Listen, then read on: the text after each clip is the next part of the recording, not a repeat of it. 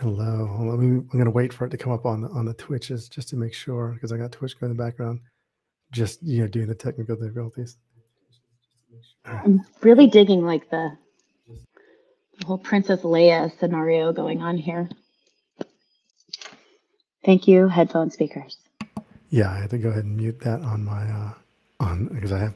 So hey everybody, welcome to Solid State. I'm Tim Banks. Um, just going through technical difficulties again. I'm trying to keep uh, you know the Twitch stream in and then my my streaming app restream going at the same time. So there's a little little funky delay. Things are fun, but um, hey, welcome out to everybody. I'm glad everyone is here uh, watching Solid State. Just so that you know, so that we're all clear, this is an official CNCF uh, um, function. So as such, the code of conduct for all CNCF functions is in effect. Please do not add anything to chat or questions that would be in violation of the code of conduct. Basically, please be, please be respectful of your fellow participants and presenters, or else. So, this is Solid State. I'm Tim Banks, and joining me today, we have the wonderful and amazing Sidney Miller. Hi, everyone. So, Sidney, if you'll give me a second, I'm going to brag on you by reading your official bio so that Oh, everyone can know. Sidney Miller, talent acquisitions talent acquisitions lead for Equinix Metal and Equinix, is on a mission to remove barriers often encountered in a typical tech environment. A born disruptor, she is a passionate advocate for giving a voice to the voiceless and promoting inclusivity in the workplace, particularly for female and female identifying candidates. Mhm. She excels at matching the right human to the right role and has over and has over two decades of experience dedicated to building healthy engineering teams. From helping candidates to negotiate compensation to correct leveling and accountability to enrich the candidate experience, Sidney is committed to paving a successful path forward for everyone. In her downtime, she can often be found giving impromptu performances in the grocery store, especially when her three kiddos are starting to tangle up, eh, tangle up in the bread aisle. Before joining Equinix Metal, Sidney helped uh, held principal talent positions at big tech companies such as GitHub, Apple, and Google, as well as several startups. Sidney is also, I know, to be a prolific gardener, um, and a and a collector of fine, fine beaded bracelets. yes, I am. Hi. Hi, Sidney. Hi, Mr. So we, Banks. How are you? So, in in the interest of full disclosure, Sidney uh, has recruited me a couple of times to uh, to care to various companies she's worked at, um, and we finally got to work together at Equinix Metal, for which I am exceedingly grateful. And she has always been amazing to me on my journey in both getting me into roles as well as advocating for myself, including to myself on several occasions. So. yeah, Um, so, Sidney, I want you to tell me about when you were little Sidney and you were kind of figuring out what you wanted to do. Oh gosh. How far do we go back, Mr. Tim Well, Banks? I'm not going to disclose how many years you'd have to go back. I'll leave that on you. But let's start with when you first had ideas of what you wanted to do. Oh, good. Okay, so a couple things. I did not end up thinking I would be in technology. I swore know, I, I was going to be a. I know, right? Isn't that funny how it happens? They're like, "How did you get into tech?" And I'm like, "Well, that's a funny story. Let's go ahead and pull up a chair." Um, it seems like a lot of us haven't didn't have like a clear path, and it sounds like a lot of folks now don't under like have that clear path, which is okay because I think if you're gonna if you're meant to be in tech, you're gonna bu- you're gonna fall into it. You know, it's you're gravitating to it in an energy way, and we can get into that in a moment. But um, little baby Sidney. Well, little baby Sidney at one point thought she was going to be a backup dancer for Janet Jackson. Truth, truth, truth, truth. yes, and I am still to this day living it out in my kitchen, in my headphones. Okay, so I want to know All the time. specifically, Janet, not a backup dancer for anybody else, but specifically Janet Jackson. And if so, which album really did you want to do? control. hmm Control was what did it for me. I was like, that's happening. I'm going to do it. I'm going to push myself in class. We're going to get there. And now I just get to dance in the bread aisle for my kids when they act up and they just totally are like, oh my God, they stop what they're doing. Um, so that's what I thought I was going to do. Um, once upon a time, I also thought I was going to be um, in the sciences. Uh, really wanted to be in um, my uh, not microcellular biology, but I went to the University of Arizona Bear Down Wildcats.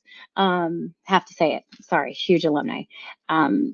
And I wanted to be a biologist, and it did not work out well for me in in the weed out class of biology 101 at University of Arizona. It was one of the hardest classes, as kind of like, all right, are you serious about the sciences? Because the University of Arizona has a really, really um, amazing, you know, um, life sciences as well as um, computer sciences program. So oddly, I went into fashion merchandising and the business behind that. And I ended up working for corporate Neiman Marcus out of school in their um, assistant buying program, um, one of 12 that gets selected every year. Don't know how that happened. Um, interesting story. It was in 1997. And that was the year that the Wildcats won the entire NCAA basketball championship. And the next day, little Sidney had to interview for her big time job and was out until, you know, God knows what night, time of the night celebrating her Wildcat win and ended up landing the job. so I was in, um, I was, I was in the, uh, couture handbags and leather goods in Dallas, Texas, not knowing much right out of college. And then ended up falling into recruiting out of that because just you know the whole fashion thing just it was great but just not what i wanted to do. And then i ended up landing a gig at, at a consultancy and my first client was sun microsystems working on back end java engineers. So I, and I here wonder, i am now. So I, I just want to ask so it's interesting so you you know you have the fashion you have the the background and the interest in fashion. And I wondered because it has been said, and I will not say that it's actually inaccurate, that a lot of people in tech dress terribly. Have you seen, or have you have you seen ways that, especially in the recruiting aspect, where um, for people for from uh, you know either economically underprivileged or, or marginalized backgrounds, how, like the way they dress or the or the way how fashion, like how their fashion choices or anything like that, um, has affected their um, their uh, you know their their job you know like whether whether they get how they do in interviews or how the any kind of implicit bias against them or towards them um, or anything like that? Wow that's a that's a really big question and i love it. I do. I love it. So let's let's think about this a couple different ways and unpack it. I just said unpack it. Oh. Let me pull that back a little bit. Um, from my experience i've always noticed that underrepresented folks dress up. They show up because they want to be seen. They want to be heard. They want to be evaluated in a kind of perfect, I showed up for this, right? Whereas you see a lot of folks who are in hoodies and, you know, baseball caps and whatnot. And look, I'm not going to sit here and say that there's one that's better than the other. It's just, you can see a, it a difference in the way that people who are are from these underrepresented backgrounds. Press shirts, ties, beautiful blazers, you know, all of these things. And then uh, a lot of times I say, you know, hey, I'm in a t-shirt. If you want to take your jacket off or your tie off, that's great. But I'll let you do do you and what makes you feel comfortable. Um, that is one primary thing that I've noticed over the last 20 years is a lot of underrepresented um, folks do show, they show, they show up in every aspect and so of course i mean i'm going to say bias is everywhere you know everybody's got to check it every day in every conversation they're in. So i mean it would be hard for me to say that there isn't right? Yeah i guess i ask because you know i look at what you know kind of silicon valley casual is and it's you know yeah. hoodie sleeves rolled up kind of t-shirt jeans or whatever right? Bands then, yep. Yeah bands and then i know what kind of casual looks like among you know different communities of color um, yeah. and or or just different uh, regions outside of you know Silicon Valley. Um, and mm-hmm. so I mm-hmm. wonder um, with the old um, you know the old uh, culture fit catch um, if that's ever if, if you've ever seen that that um, play out. Um, I, I don't know that it has. I just know if you have any experience on that because I've often wondered that myself.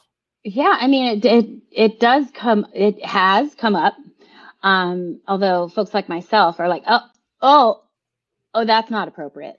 You know, I'm sorry, but we're going to have to redirect this unless it can be objective. We can't discuss this. So it's really up to the ownership of those that are in the room to ensure that they hold accountability to objective feedback scenarios um, and the company itself, right? So, um, yes, it's been brought up. It has. I mean, Yeah. I've been here a long time. If I said no, it doesn't exist, you guys would be like, "Is this a family show?" By the way, this is a family show. I It is mean, a family show, right? CNCF. So like, yeah. Just imagine you're at at KubeCon. Okay. So I'll just try and make sure that nothing falls out as far as you know explicit language. It's Yeah. it's hard for me. I mean, tech, right? Um, Um, so so Sidney, you your first client was Sun Microsystems, yes. And you know that was that was interesting because I had no clue what I was doing. I was like, "And you do what? Tell me." And I swear that's where I developed my my ability to listen because I had no clue what I was doing, right? How does the little girl from Arizona end up in Texas working for working with a big consultant company that that works for Sun Microsystems? So you know what? It's just you. I faked it till I made it. I just learned from the best, and that was all of y'all. Everybody that I work for, you know, everybody that I work with. I I am not a subject matter expert in technology. I'm not an engineer. I feel like I am one because I understand it, but I would never claim to be one. Um, and so, so yeah, I just, I don't know. Does that even answer your question? It's Monday. I mean, yeah, it's it's it's the start. So so tell me, how did you get Uh-huh. like from your first gig at Sun Microsystems? You talked about some of the skills you developed, but Yep. tell me how did you get from there, from your first gig out of you know of, of a fashion kind of background, to being, you know, the the the recruiting powerhouse that is Sidney Miller today? I'm kind. I listen and I understand what the needs are. I mean, it's it, it's the only thing that I un, I can equate it to is honestly technology changes so rapidly. But how are you hearing? How are you working with individuals? How are you curating the human experience? Right? I'm about the human first. I could tell you all sorts of like lingo and this, that, and the other thing and throw it at you and be like, great, thanks for that. I really didn't want to get regurgitated job description information. It's really about like, tell me about you. Like, what, let's have coffee. Let's talk about each other. Let's make sure that, like, as a human being, this feels right to you. And just tell me, tell me. I always open with, tell me what you need. Tell me what's different. Tell me what you know. Tell me what makes you excited. You know, what bubbles up for you um, when you start talking about technology. And I swear it's just by being meeting people where they are. And that could be anywhere, right? So I Mm. think I guess I want to I want to dig into that a little bit because Okay. I know I know a lot of people that can say like, yeah, I mean, I, I think and I listen I, and I like to do these things. I like to be kind, but it's more than that with Mhm. you, right? Because Yeah. you don't just you're not kind to people, but you're a fierce advocate and you speak truth to power, right? Yeah. And so I have a you know I'm not I didn't know you when you worked at Sun Microsystems or worked for Sun Microsystems all those years ago, but I have a feeling Yeah. that maybe you didn't do that at that first job. Oh no. No, it took me a long time to find my vi- my voice because I have been kicked down so far by so many egocentric people and maybe maybe those experiences really helped curate me to be like you know that fire that bubbles in you and then how do you you know i had a lot of test kitchens if you will where you know you know me i'm like i'm breaking Yeah. glass Yeah. I break glass everywhere, especially on behalf of underrepresented uh, populations and those who have pay wage gap in- inequity. Right? It's just it's what I do, and it's Mhm. people I know that I'm known for it. Um, I think I had to fall on my face and get back up, and then get punched in the face, and then squashed, and then find out, you know what? I'm actually mad about this stuff. This So, is like, important because if it's happening to me, it's happening to others. So how do I Yeah. truly bring this up? If I'm in a position of privilege, hiring, being the first person, how do I open the door? So How do I ensure that those? once I open the door, that they're safe, right? Yeah. So what if you, without getting like gory details or anything like that, but like we talked about some of the mm-hmm. experiences you had, uh, and the only reason I'm asking you to do this is because I want maybe some people that are Yeah. that are also like see- seeing this like you're not alone. Like I've experienced this too. Like I understand how you go because um I found that when you tell us that I found if you tell someone like yeah I have actually been through something like that, and so Oh yeah. I, I can I can feel you on that. But sometimes it helps for people to know they're not alone in that. Oh, I've got some good ones. Um, first and foremost, I will say that I actually have corporate PTSD at, on behalf of corporate tech. And I'm going out to say that this has been mostly at the hand of other females in positions of power. No offense to my ladies, but or those that identify, but it has been a hard time. Um, and so, you know, being pushed down, my work taken and delivered as their own in executive level leadership meetings, only taking, you know, taking the the spotlight and not that I'm like, hey, but you know, let's share, let's collaborate, let's be cool, let's experience ego death so we can all produce a wonderful environment as well as, you know, what we're here to do, right? Because through us and our actions only creates that environment. Um, gosh, I've been yelled at, I've been pushed, I've been emotionally scarred. I've been told that no one cares about my children. I've been told, yeah, I've been told um, that I'm too much, that I'm the bull in the china closet, that I say the things that shouldn't be said in meetings. Yeah. So now I stand in my power and say, not today, because I've gone through it. I've been there. And now I'm ready to be like, there's a lot of people behind me that need me to do. I just experienced that, but I have a position that I can actually influence and bring that through and show the reason why being an empathetic, kind human being throughout the process, making sure that everyone is heard. That means different things for different people. So you have to make sure that you create that. So um, I don't know. Was that part of? Do you want more? I've got more. No, I think that's that's that's a. I mean, it's gory enough. I think the details, but I guess I'd I like mean, to tell know. me there's nobody that resonates with that out there, you know? I bet somebody's like, ooh, yeah, you know, I've been there. I've seen that, but can't talk about it. Have you seen it? Those kinds of environments manifest differently between like large corporate tech and startups. It's it's everywhere. I wish I could say it's different. You know, the honeymoon phase is is a real thing. Um, and then, you know, when are you like looking under the hood and ripping all those band-aids off, right? Um, it's hard to really do that. I will say that um, I've seen it more so in underrepresented po- populations than others. Me being one, you know, I I'm not only a female in tech, but I also hold a disability.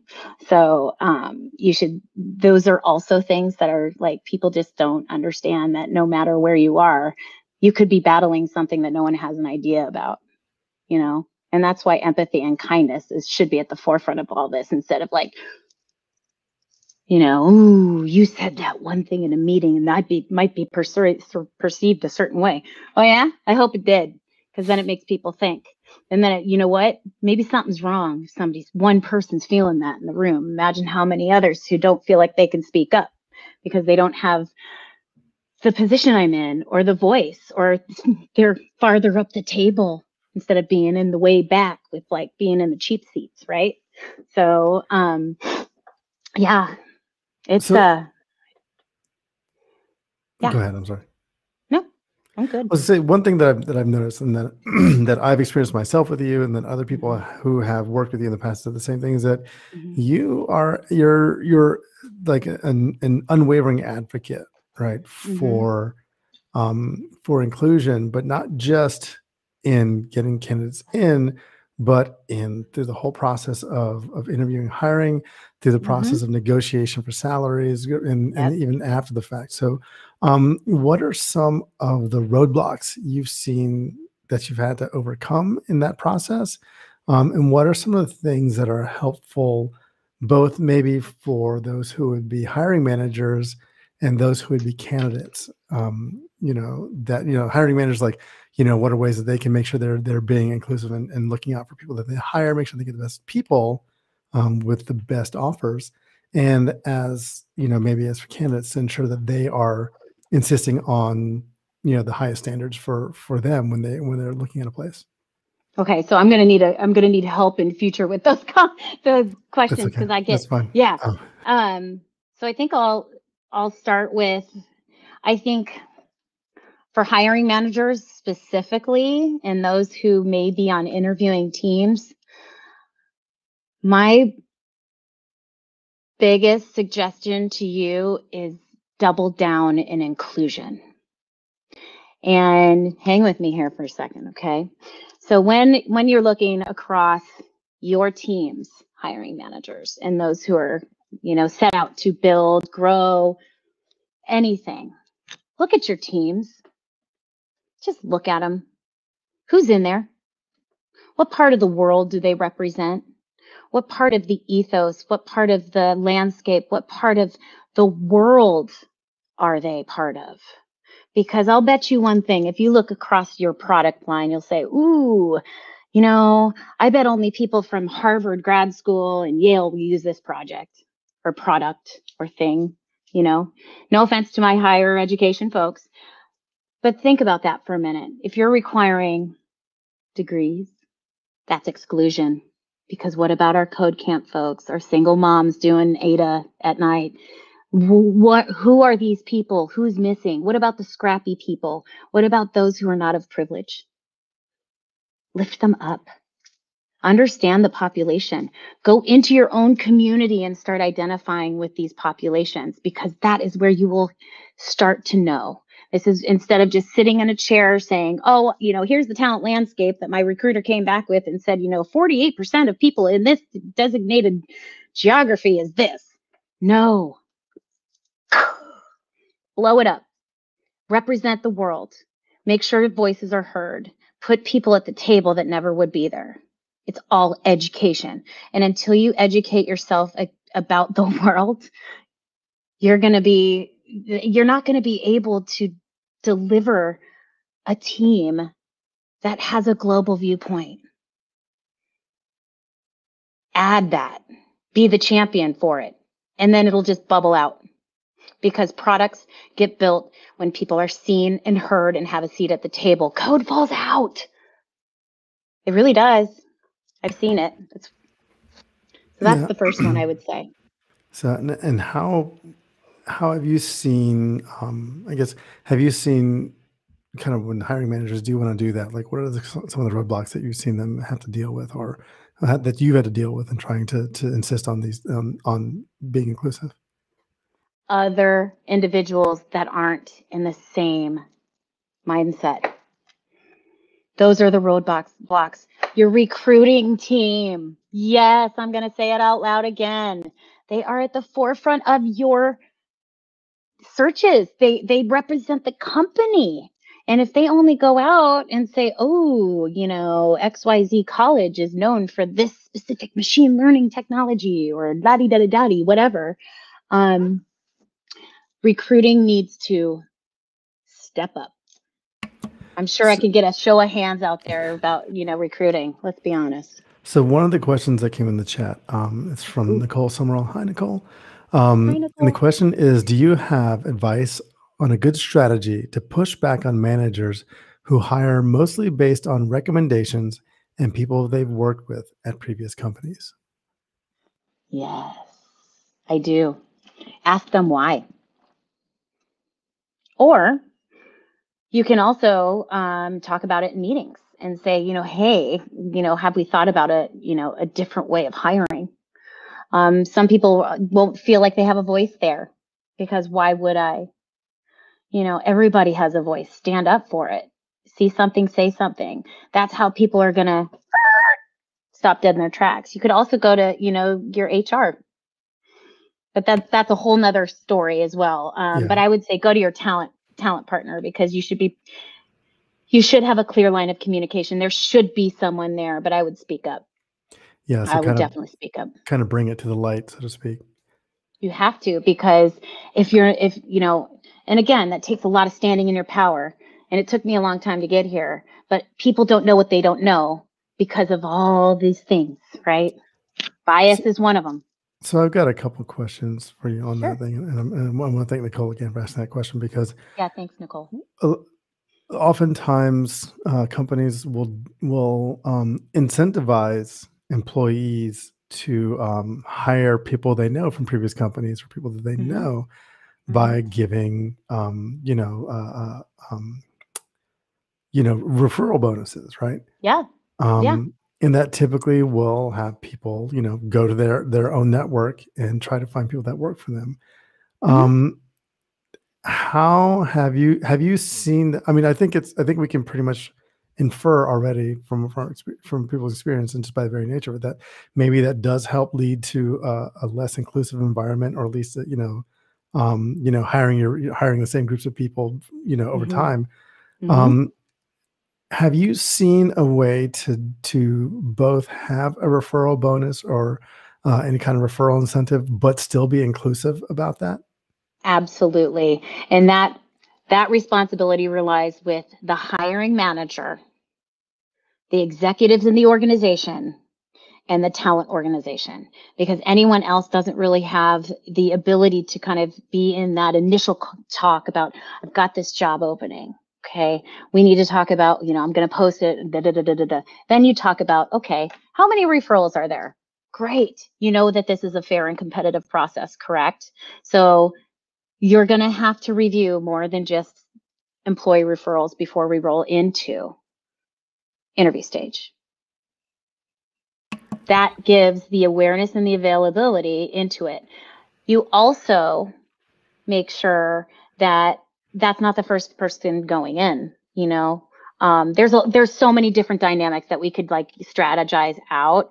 However, the accountability is really to ensure that the team understands that it's not one and done. And unless it, it, and that's what the role of the talent partner and talent is supposed to do is ensure fair process for all. And if you do not have that in nailed down in that first call, then you have to have that call because that's how bias begets bias begets bias begets bias. Right. So so you end up maybe even not by by any actual intention to do so, you end up having a non-inclusive environment just by incentivizing Absolutely. people to to hire the buddies, right? Yeah. They circumvent everything for speed. And it's like, yo, yo, yo, yo, yo, yo, yo. Uh-uh. Not on my watch, right? Yeah. That's great in theory. You can spin and do what you need. But until it's fair and equitable, no doors are opening on Club Miller Day. You know, like I'm sorry, but I gotta hold. You gotta hold the ground. You've Right. gotta hold that bar to inclusivity. And if you don't, you're part of the problem, right? Um, I'll give an example. Last year, when in June, when everything really came came forefront, right? At work, we had the opportunity to look across and say, you know what?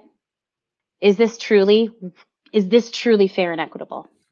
So the organization as a whole, with support of its executives, said, let's just take a moment and let's make sure that when we review our pipelines into these roles, that they are as fair and equitable, equitable as possible. Now that is how you truly create an inclusive environment is by having things, you know, the world has changed, okay? So, what are you doing to make sure you understand what those changes are and what it means it impacts the environment that you're in, especially in tech, right? So, we as an organization said, we're not cool with just going through this. We have to look at it and we have to hold ourselves accountable. And we course corrected. And that meant a lot of different things, a lot of different things, right? We started talking about different strategies and where we're going to put our dollars, right, for inclusion. Because here's another thing I want to bring up and talk about out loud. Why are we not starting with the trans population first with inclusion, especially in tech? Why are we not supporting, you know, the most vulnerable? you know, African American trans women. Why are we not giving them the light? Stay with me for a second. You look at inclusion plans. And again, just we're going to tilt tilt it on its axis a little bit because I don't know anything different, Tim. You know that, right? So, um, why are we not starting with the most vulnerable populations and then work up and then pull everyone with it, right? Start with the trans populations, then go up disabilities, veterans, people of color than women because as we know women people of color it you know it depends on what your your demographics are in your organization. But if you look at the spend and the cost how much is in women women identifying? Truly truly needed. Look i'm not here saying they don't need it. But what about those that are at the bottom? By the time the money is spent oops nothing left. So where's my lgbtq plus a and the the whole thing. Why are we not focusing there? Tell me that. Those are great questions to start asking in meetings, you know. What are we doing for trans initiatives? What are we doing locally? How are we showing in support? Where are we putting dollars that we don't even that they're not contingent upon a hire, you know? Do the right thing. What's wrong with us? So the one thing that you brought up earlier, um, which And I've asked companies in the past, it seems going to be almost like a third rail. Um, talk to me or talk to us about some of the some of the arguments around geographic pay bands and their pay pay bands, right? Uh, and as far as their effect on inclusivity.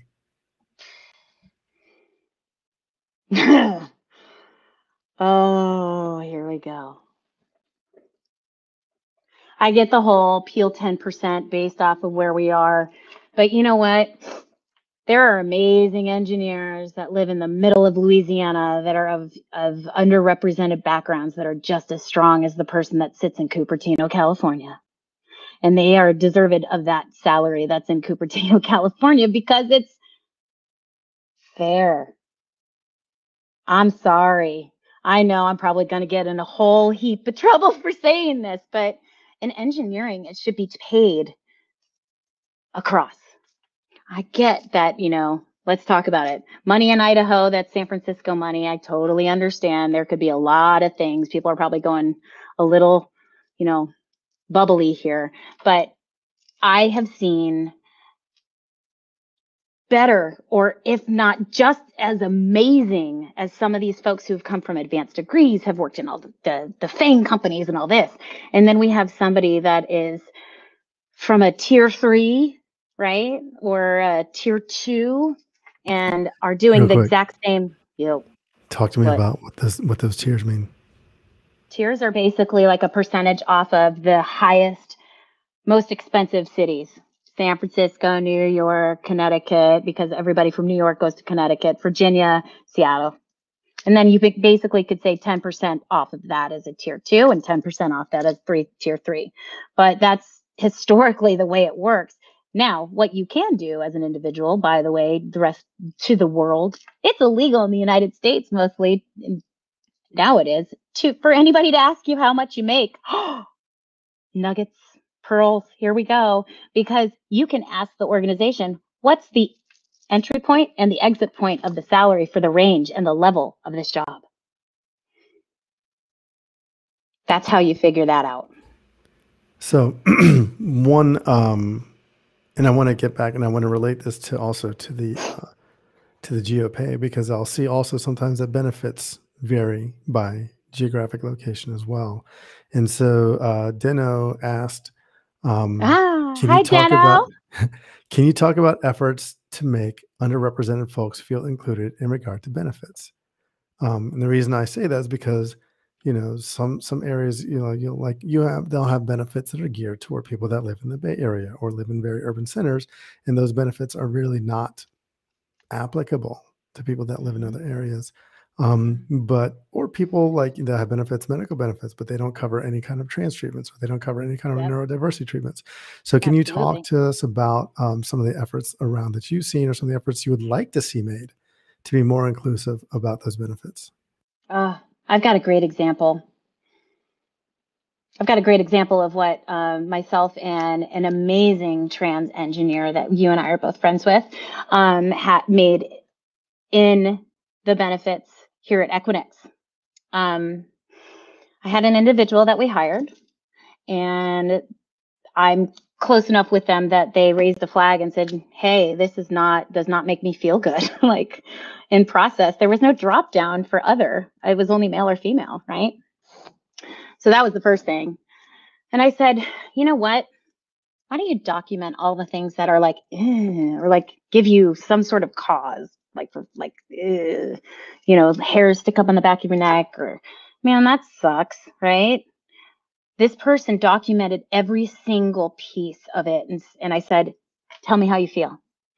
One was this is bleepity bleep bleep bleep because it was true right? This is a trans person. We're not making room for this. The, the benefits didn't match what they needed as far as hormone replacement and therapies and some of the things that go along with that, right? Equinix as a company and and you know, hi Equinix, I hope that this is okay. I'm sure it is. I want to scream this from the rooftops and it's already in place. So hey, here we go. Um, this individual single-handedly changed the benefits process and the way that we have people throw flow through our onboarding system in 24 to 48 hours it was changed because it was given to me and I escalated it and they heard and they changed it.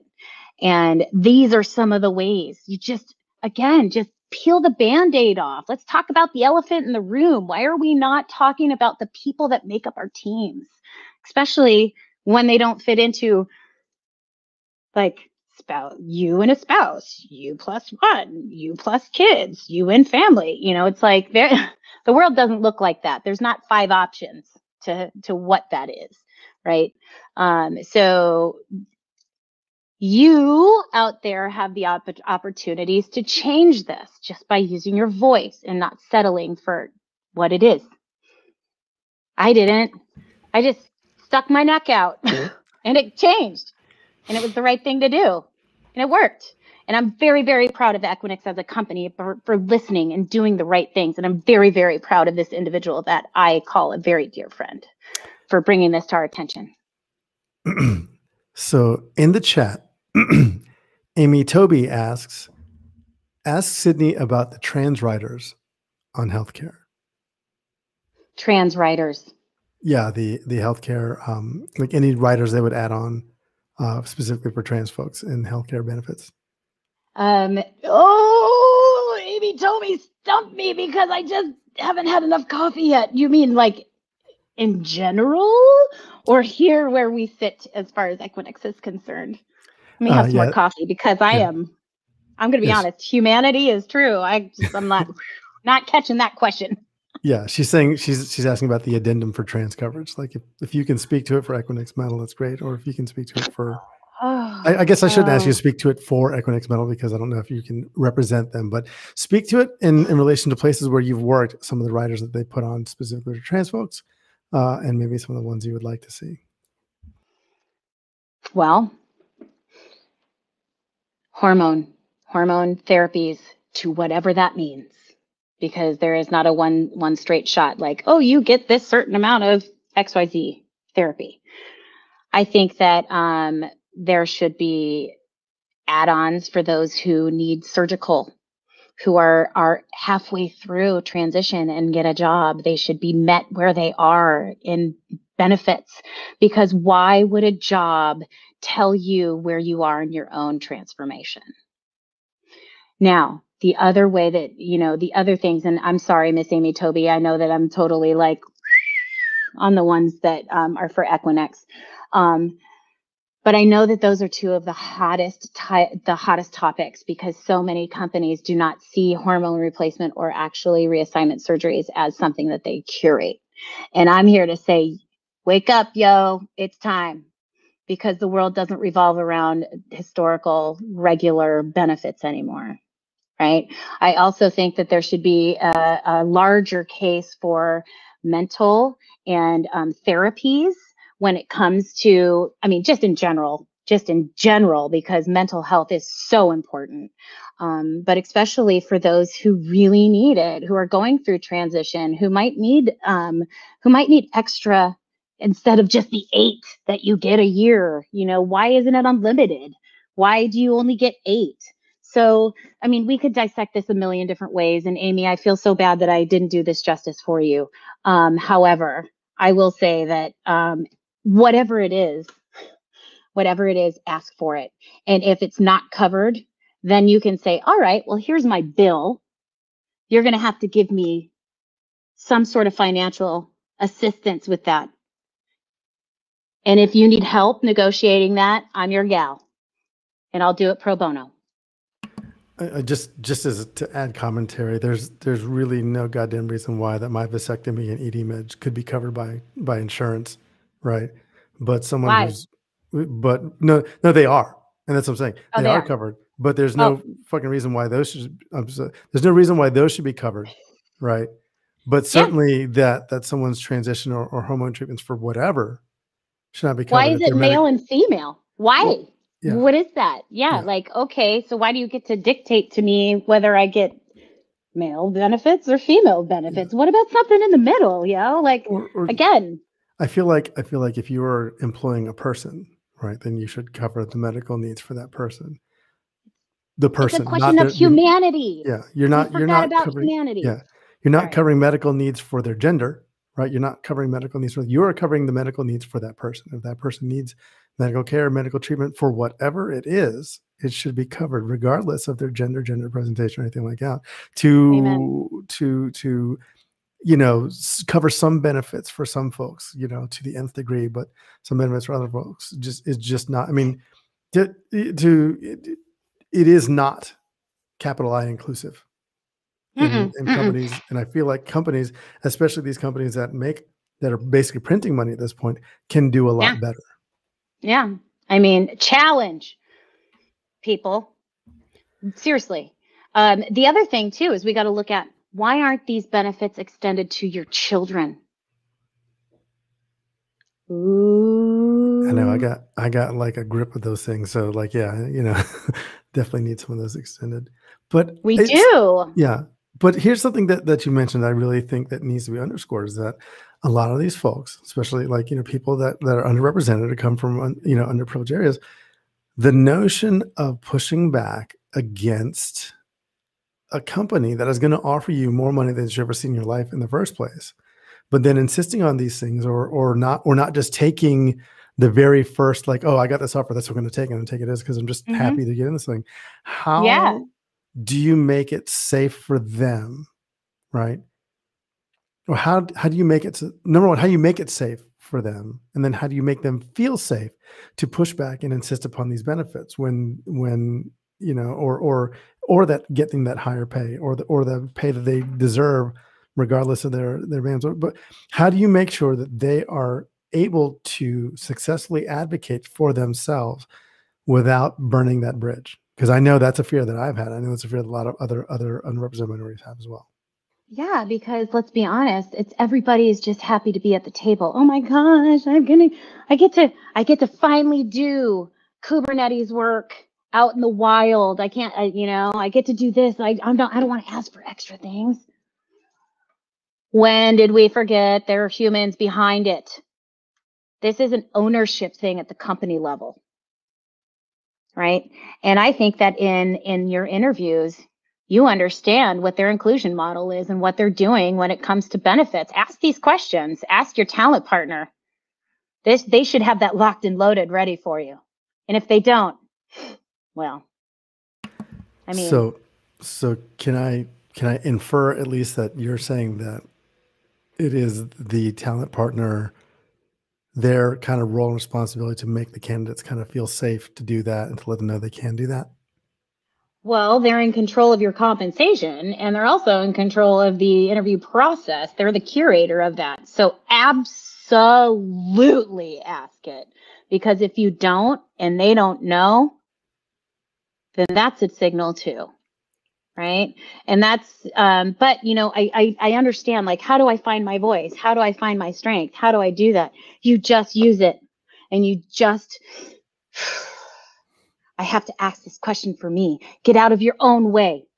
Ask the question. It doesn't have to be Sidney Miller side style, but it could be all about like, tell me about your inclusive benefits. And if they're like, oh, we've got great dental care, well, that's not what I'm asking.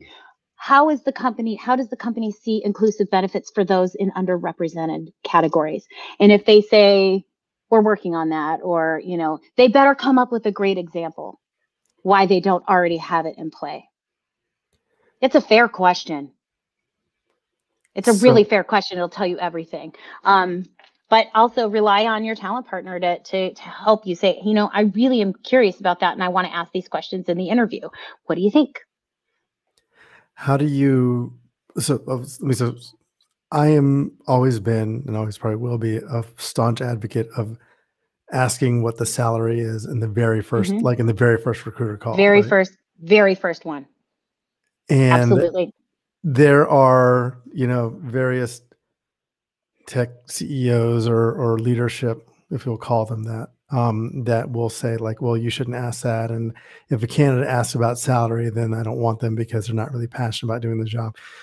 What is as as you as a talent acquisition person, what is the take um, you know, maybe you can't speak right. What is what is your general understanding of the take on that? Whether whether people should be advocating for their size, whether whether it's okay to talk about money, and whether or not that these leadership folks are actually certifiably full of shit. Yeah, Accountability's hard, man. Right? Why? Don't tell me for a second that these leaders aren't in there, you know, taking their jobs. Well, what does it pay? You think any CEO is going to be like, oh, this sounds like a great job. You know, this sounds like a great opportunity. I'm going to wait till the end to see how much they're going to pay me. Right? Yeah. Ask. It's okay. It's legal. What are the parameters, the entry point and the exit point for the salary, for the level of the job you are considering me? Don't talk yourself out of it. Don't back yourself because I need this because of. Recruiters will smell it a mile away oh, okay. And the the not good ones, because let's be honest, everybody out there in TV land, there's a lot of bad ones. Yes, there are really a lot of them that are just under ridiculous times time frames, dialing for dollars, sending thirty five thousand in-mails to you about, you know, hey, I've got this great business analyst job and your your site reliability for observability. Like, did you even look at me? So um, don't don't disclose how much you make because you don't have to. But it is legal for you to ask what the parameters are. And if there's a squirm in the ethos, hold it accountable. Just be like, I need to know that before we move forward because I'm not going to waste my time because my time is precious, right? And so is yours. And that's a real conversation to have. However you you say it for yourself, but that's it's okay. And I cover that in my first conversation. Look, this is the level, this is the expectation, this is the role. I'm not going to regurgitate the job description down for you, but here's what you can expect as far as salary. Here's the base component. Here's the bonus component. Here's what we think about restricted stock units. Here's our benefits deck. Could you imagine? Could you just imagine for a minute, all of y'all out there, if you had all those things at the end of the call in your first call, you'd be like, hmm, I'm going to check this out, right? this seems a little okay. And then the rest is up to y'all, right? But at least you have your needs met before you even get out the gate. So then you don't have to worry about all that stuff. I do so think. Ask. Yeah, I like the notion. I'd never considered really before, and I probably should have the notion of asking about the benefits writer because I know for me, right, if and uh, I'm not going to speak for that community, but I can imagine that if you're a trans person and you don't necessarily want to out mm-hmm. yourself as being trans on the first call, that asking about the trans benefits package or the trans riders could be, you know, problematic, right? And so maybe it should be like if if your benefits are inclusive, you don't have to ask about it. It's going to be in there already, right? Yep. Um, so if you ask about that and it's not in there, that should be kind of a red flag for you. You know that that's yeah. that's not covered. Um, or they better have a great excuse why it's not in there. What is your advice to someone that's thinks maybe that they have been I don't, know if victim is the right word, but but certainly fall into maybe a less inclusive, um, less inclusive, uh, um, uh, you know, hiring practice, interview practice, or whatever. right? And then they think like, well, maybe I didn't get it because I wasn't, you know, either because I advocated for myself or because just the process wasn't inclusive. What what should folks do? Ask a lot of questions. And if you don't get anywhere with the talent partner, then you escalate. And you can you can find lots of content and detail for uh, those that are in leadership positions in talent acquisition and in HR. I mean, account like again, accountability is hard. And if you you know mistakes happen, natural mistakes happen that you know on both sides, but it's holding the bar on inclusion and making sure that you don't get in in that that water. However, if it happens, there are ways for you to do it, and that's escalated up through. Um, there's always an 800 number. You can always ask for um, HR.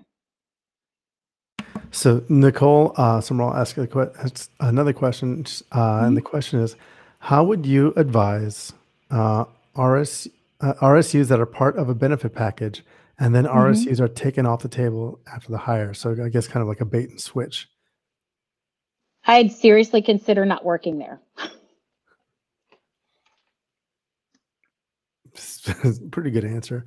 I mean, but I mean, but I, I wonder because I know I know like especially we've worked at we've worked at uh, both had in, uh, a commonplace uh, a small bookseller out of Seattle uh, where the RSUs are your comp, right?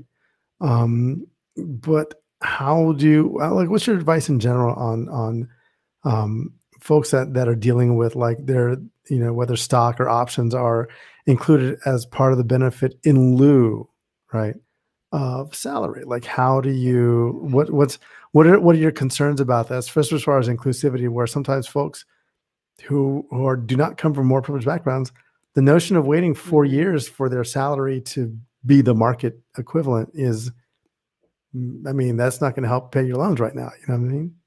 Like, Absolutely, what, and and here's the hidden secret about RSUs. They're backloaded. So, you know, you have to stay four years to get the full vest. Think about that. Yeah. So, right? so, so, so think about where you are. Are you more cash motivated or are you long term? Right. Because there's two, there's a lot of different ways people view compensation, right? If you need cash and you're motivated by liquid cash in your pocket, negotiate tell them what your thresholds are. Say, I cannot have, I know lots of people that are like, I ain't moving until I can see this because of what I need to be sustainable as a human, as I see now. And that's all you have to say. And then negotiate up and say, you know, I'm great with what the allocation is of RSUs, but if you come back to me and want to load more RSUs in and you're a cash motivated person, ask for it in salary or ask for it in a sign on bonus. So I, I fairly sure I understand what the motivation is to to offer options or or you know uh, RSUs for mm-hmm. smaller mm-hmm. startups because you know they don't have to give cash out as an expenditure and they they can their options yeah they can they can benefit yeah. their employees on on exit. What is the benefit mm-hmm. for large FANG companies, lar- like not large, FANG companies or other larger companies where they're where they were trying to do the thing we're going to give you stock versus versus salary when you know they have the money? Well, it's a great addition. It really is. And if you have long term plans to stay, great. But it's also a way for the internal teams and the internal company to say, we might not hit that four mark, four year best mark. So what is the reality of us layering on more and actually really having to pay it out? That's the that's the shush, the bad of RSUs, and those are real conversations that happen behind closed doors. So just know that if you select more and RSUs and do not plan to stay, you're going to be out that obviously. But it, it all comes down to tell the person you're talking to that yes, you're motivated by RSUs or you're more weighted in in um, in cash. Now, the other thing I want to bring up and kind of circle back about benefits ensure that there's an 800 number to the provider on um, the deck or ask for the 800 number that is covered by HIPAA so you can call in and discuss all the things. Are my prescriptions paid?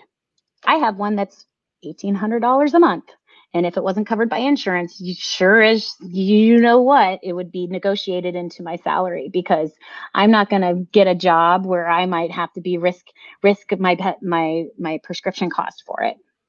These are real things. Yeah. So like that could be part of your negotiation. And if a company says, no, I'm sorry, we can't cover that prescription cost. I mean, it's just, they should be able to, to help, right? Because they don't offer certain benefits. But again, with the, I know I'm kind of all over the place because I'm no, just excited. That's, it's your glasses. That is, that is a fantastic advice that I don't think a lot of people think about, right? Or they, don't know, they don't know that they can do. So, so I, I appreciate you saying that. So because we, so many of us wait. Oh, I'm sorry. No, no, no. Go ahead, please, please. So many of y'all wait until the end and just assume that it's going to be part of the package. You could be out. There's hidden cost expenditures within benefits that are not, and make sure it's apples to apples, especially for those that depend on you for your benefits, whatever family means to you, right? Right. Make so sure we, you check. First call. We have a couple minutes left. You are in a room with the top 20 CEOs, the 20, the 20, the mm-hmm. CEOs of the top 20 uh, tech companies out there and the ones that have power to change the tech culture, so to speak. Yep. You have exactly one minute to talk to them. What are you going to tell them? I show up with my people and let them speak. Has nothing to do with me. I bring you. I bring Amy Tobey. I bring y'all. I bring a nice sampling of you and I say, listen, because this has nothing to do with me. It has everything to do about you. And until somebody represents you in that room, it's for nothing. I wouldn't say a damn word because it's not my place. It belongs to those who deserve to be there and do, deserve to be seen. So that's what I say. You better listen. Here's my friends. Right?